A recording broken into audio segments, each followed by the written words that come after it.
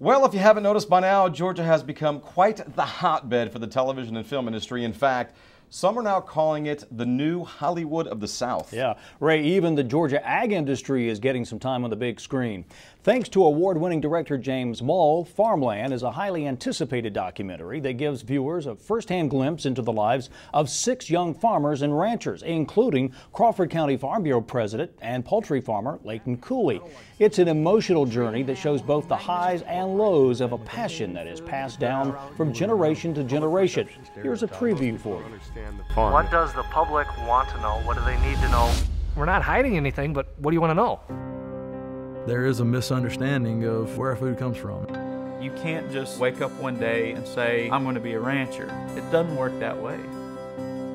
The number of people coming back to the family farm has decreased substantially. There's a lot more challenges into starting farming than it used to be. When I started, no one believed in me. Nobody. It's definitely tough being in this developmental stage of my business. You better water them right now. My dad started this farm. Now this is pretty tall. This is the legacy we are carrying on. Why does this not seem fair? As a 26 year old, I am, to my knowledge, the youngest rancher in Throckmorton County. We need to have young people go into farming. Who's going to grow our food? So there you have it. As mentioned, a lot of anticipation for this film and some very positive responses as well.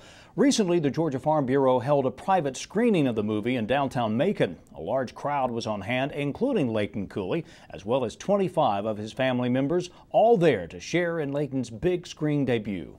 Basically, the hope for the documentary is to create some dialogue between, create conversation between consumer and the farmer. You know, consumers have questions about their food, how it's produced, how it's grown, how it's raised, and those are valid questions. But the thing that we have to make sure is that farmers are answering these questions, you know, because because we're the ones that know it best. On our farms, we know what happens, what goes on. And so it's really just to create some dialogue and some conversation between the consumer and the farmer. Over 300 from the farming community and leaders in the area were on hand for the special premiere of the documentary Farmland. The group included many from the Georgia Farm Bureau staff and several elected officials. Some that attended told us they were interested in the movie for a number of reasons, including the storyline that describes the evolution of tradition, passing on the family business to the next generation. Farm Bureau President Zippy Duvall said he was proud that a Georgia farmer, Leighton Cooley, was part of the nationwide conversation on farming and said those that watched the movie would see real emotion expressed by the farmers. Well, we're just real excited about having one of our young farmers uh, uh, being in this movie and, and having Georgia agriculture portrayed in this movie. It's going to be seen all over the country, and that's just a real exciting thing for us.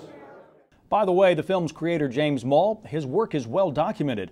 Moll's credits include an Oscar, two Emmys, and a Grammy.